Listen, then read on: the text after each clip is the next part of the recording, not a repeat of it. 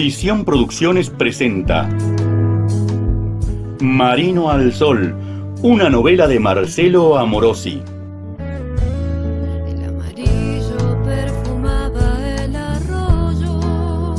Marino al Sol, protagonizada por Catalina Schmal, Marina Vilardelo, Alessandra Guaitomo, Susa Salas, Marisa Tisera, Gabriel Villarreal, Leandro Sánchez, Julián Vázquez, Rodrigo Andrine, Andrés Cuatrín y la actuación de Kevin Pessoa como Marino. Relator, quien les habla, Carlos Esteban Fernández.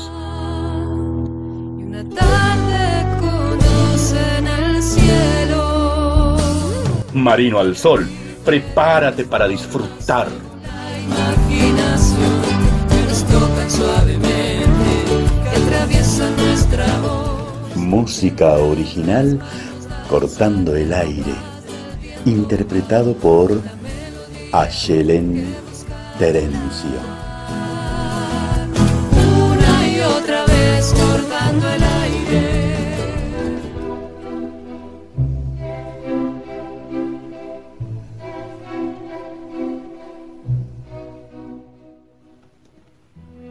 José Elizondo, un hombre de unos 30 años de edad, llegó a la Argentina, más precisamente a Paraná, con 20 años recién cumplidos, allá por 1955.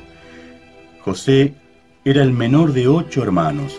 Cuando los Elizondos se instalaron en la ciudad, el padre de familia le dio a elegir a José entre dos opciones. Trabajar para aportar al hogar o irse de la casa a trazar su destino. Él eligió a ciegas la última opción. Abandonó su casa llevando dinero que le había robado a su padre. Inmediatamente se instaló en un pueblo alejado de la capital llamado Camponiño, donde conquistó a todas las mujeres del lugar, haciéndoles creer que pertenecía a una familia adinerada y lograba hacerlas vagar por historias llenas de fantasías y mentiras. Así conoció a Pilar, la muchacha más bondadosa de los alrededores. Ella era la sirvienta en la estancia Santa Clara. Al casarse con José, abandonó su trabajo para siempre.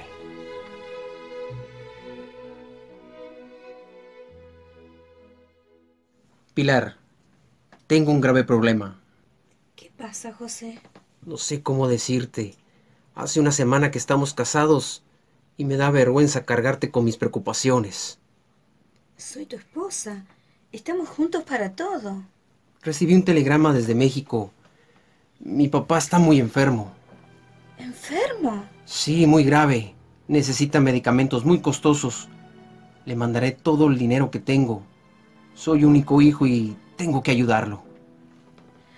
Sí, claro.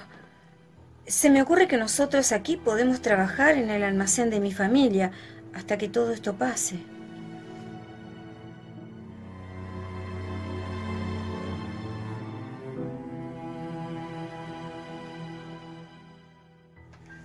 José comenzó a trabajar en el negocio de la familia de Pilar. Al poco tiempo, su suegro falleció. Y su suegra, envuelta en tristeza, decidió mudarse a vivir con una hermana al sur de la provincia.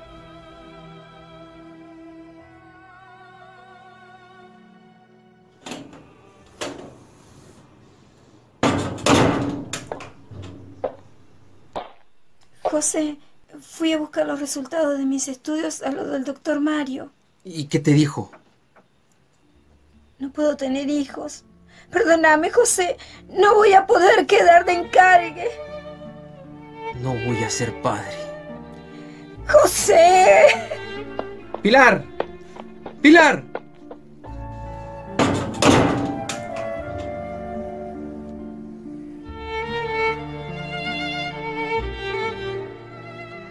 Pilar salió a la calle llorando. Alguien que conducía un auto se le acercó.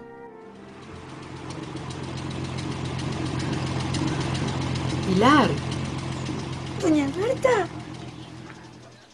Doña Alberta era la hija mayor de los dueños de la estancia Santa Clara. ¿Qué te pasa, Pilar? ¿Por qué lloras? Doña Alberta. Recién fui a lo del doctor Mario. ¿Estás enferma? No. Pero no voy a poder quedar de encargue. Me explicó por qué, pero vio que soy medio bruta y no entendí. ¿Tu marido qué dijo? Se quedó tan mal. Él quería tener un hijo y yo también.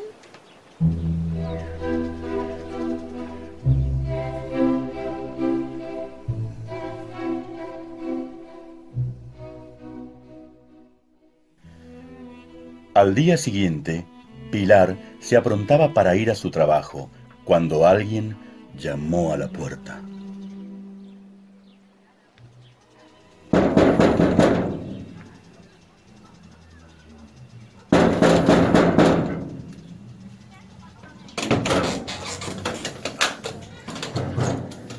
Doña Alberta, don Osvaldo.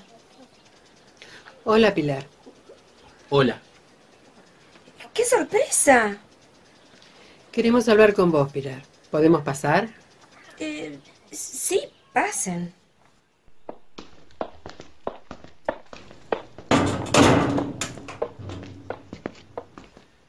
¿Estás sola? Sí. José se fue a buscar unas cosas por ahí, pero ya va a venir. Está bien. No es necesario que él esté. Queremos hablarte de Clara. La señorita Clara, su hermana menor, ¿ya vino de Francia? Pilar, lo que voy a contarte, por favor, que no salga de acá. Sabemos que sos una buena mujer y que vas a saber guardar un secreto. No entiendo nada. ¿Qué pasó? Clara, nunca se fue a Francia. ¿Cómo? Necesitamos confiar en vos, Pilar. Sí, sí, claro. Clara se embarazó de un peón de la estancia. ¿Uno de los peones? Sí.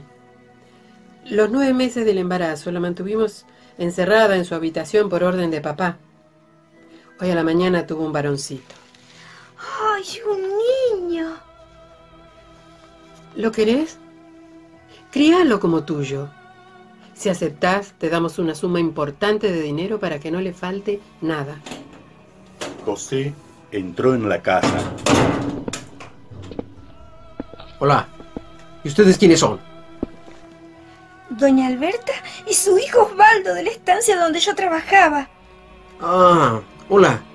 ¿Y a qué han venido? José, vamos a ser padres. ¿Cómo? Vamos a tener un hijo, un hijo. No, Pilar.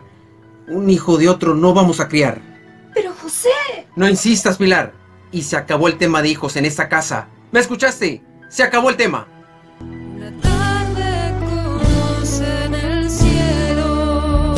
Hasta aquí llegamos.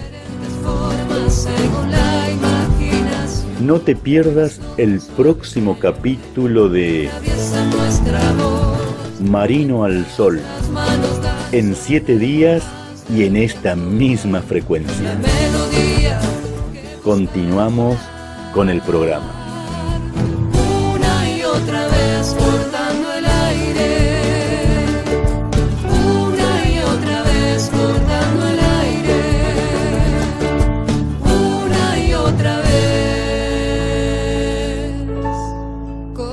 Yoldan